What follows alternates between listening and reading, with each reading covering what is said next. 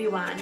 If you're wondering why am I dressed like that, it's just because today's video is a little bit special. I was planning it for a little bit and I'm actually dressed as one of my characters from a live game in which I took part this summer and if you're interested to know a little bit more about it you may check down below a video that I made with the photos from the event and this event was a mix of Once Upon a Time meets American Gods meets Fable and my character was Sleeping Beauty. So I decided to add this character together with some books that I recently bought about Sleeping Beauty and some wonderful teas that I received from NovelTea Company. And first of all, I wanted to share with you the amazing package. There is so much care put into it and it's just so evident that I decided to film this video and then in the future I will probably film a second one because this one will be Sleeping Beauty themed and the next one will be a Beauty and the Beast filmed kind of video. I have four books to show you and today we will taste together three teas from NovelTea Company.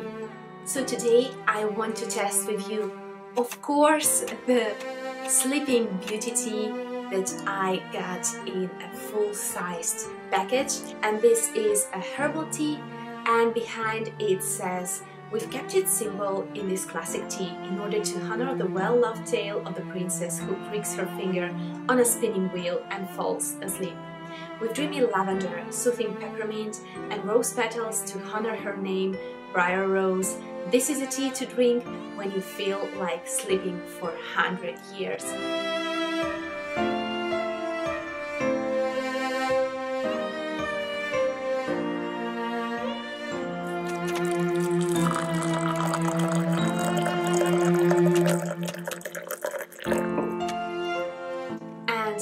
This very first cup of tea, let's keep it simple and let's go with the classical Sleeping Beauty fairy tale.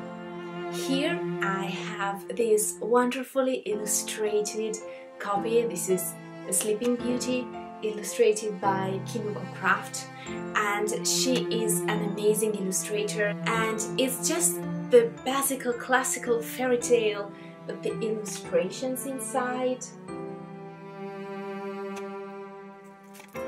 They are just amazing. And this is such a beautiful copy to own. I mean you have the classical story you have everything but then the illustrations are really the thing that sets this wonderful copy apart. So if you want to own a classical kind of Sleeping Beauty copy, this is a very very beautiful one to have and to cherish. And now let's get to the Sleeping Beauty cup of tea. And here is the first cup of tea the Sleeping Beauty tea created by Jasmine from NovelTea Co. And if you don't know, Jasmine is a fellow booktuber, her channel is so cozy and so wonderful. She's full of new ideas, great concepts and if you want to support a fellow booktuber then you definitely may check out her tea company. And now they are launching a Tea Plus book subscription box. So I mean it's just perfect. And let's give a try to this tea. First of all the smell is just pure lavender so it's very soothing. Lavender has this soothing kind of power relaxing kind of power it's not a dark tea, it's herbal, so it will stay very very clear, the water won't get very dark. Let's try it out.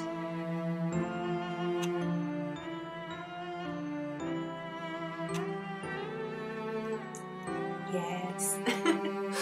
okay, so the taste is very, I know, I just have to say relaxing and soothing because it tastes like lavender with just a little like a little bit of rose and of peppermint so that it's not a fully lavender taste.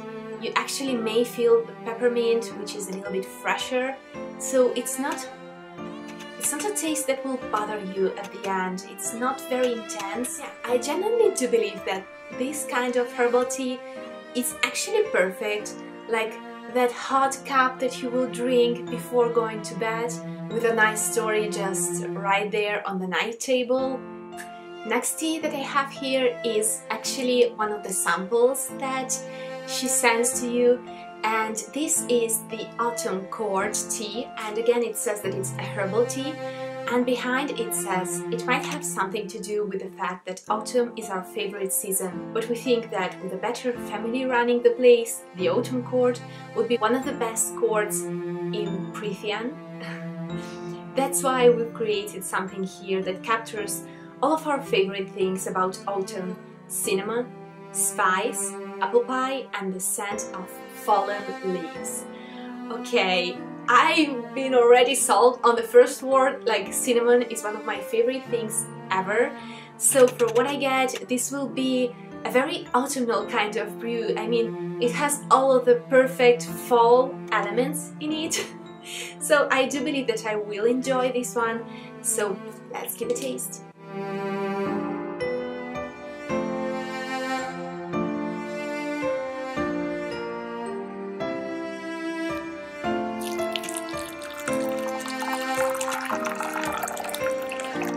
And since this tea had cinnamon in it, then I decided to go with something with a bit of a twist and here I have The Sleeper and the Spindle by Neil Gaiman, illustrated by Chris Riddell.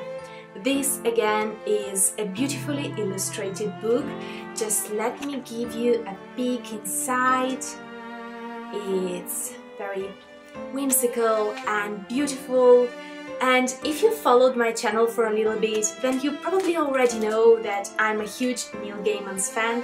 I love how he writes, I love the amount of imagination that he puts into his stories, and from the back I just will read to you. She was one of those forest witches, driven to the margins a thousand years ago, and a bad lot. She cursed the babe at birth, such that when the girl was 18 she would prick her finger and sleep forever. And now it's time to actually taste this tea. So, mm, the smell is that of apples and cinnamon and it's just the smell of autumn really autumn and just a hint of Christmas probably if it makes any sense the color is a nice yellow color. I don't think that I may show it to you properly right now, but let me taste it.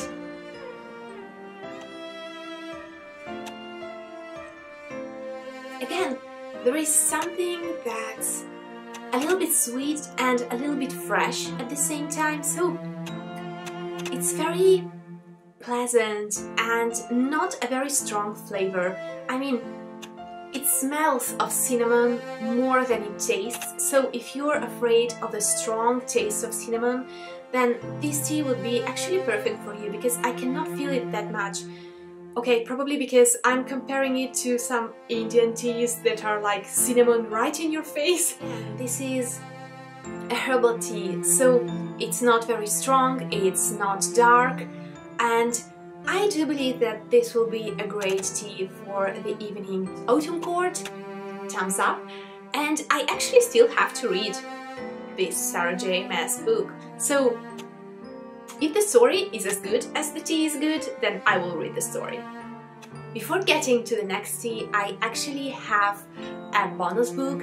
It's a collection of stories, so it's an anthology written by five different authors and it's called Five Magic Spindles and we have a collection of five different stories.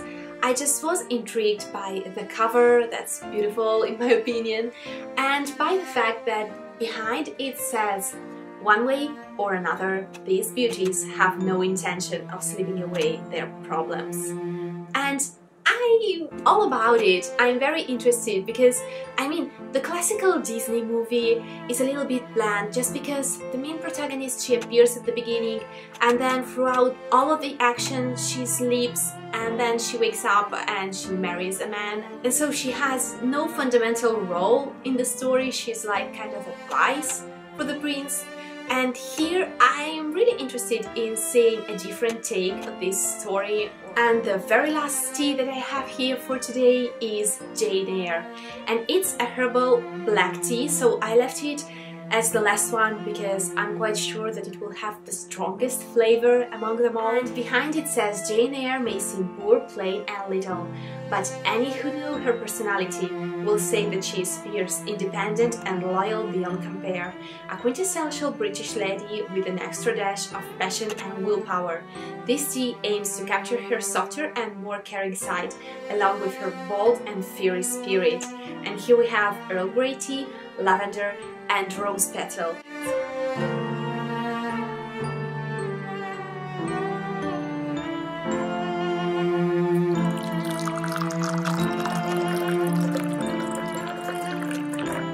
And here we are with the very last Sleeping Beauty themed book and it's Spindle's End written by Robin McKinley and from what I got this is pretty old book and it's very very long it's like almost 400 pages long and it's a Sleeping Beauty retelling, a Briar Rose retelling, so I'm very curious to get to it and to know how it is possible to have such a long story about a so well-known fairy tale. And do you like retellings in general? Do you prefer like faithful retellings or something completely different like for example I don't know the Lunar Chronicles that are retellings technically but they are completely different from the original version of the fairy tale. So without further ado let me get to the very last tea. So as expected, this one is a lot more colorful since it has actually tea leaves in it and the smell is exactly like Sleeping Beauty, just stronger and let's give it a taste. This perfume is just lavender, like all of a sudden, while the taste is just delicate and pleasant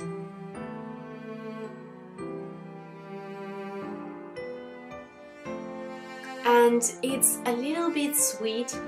I love it! Again, it's a quite delicate tea, but I knew it in choosing them. I've chosen all delicate teas without very strong notes in them. Maybe one day I will try something strong, but these, all of these teas, they are quite perfect for the evening when you want to relax and just to feel that kind of soothing feeling and to feel a kind of embrace and hug around you. These teas are just amazing for that. I hope that you enjoyed this video and please let me know down below if you're a tea lover, what is your favorite kind of tea and if you love Sleeping Beauty. I wish you a very pleasant and relaxing night because I love sleeping, of course. no pun intended, no yeah, it was intended and I will see you very very soon in my next video. Bye! Ciao!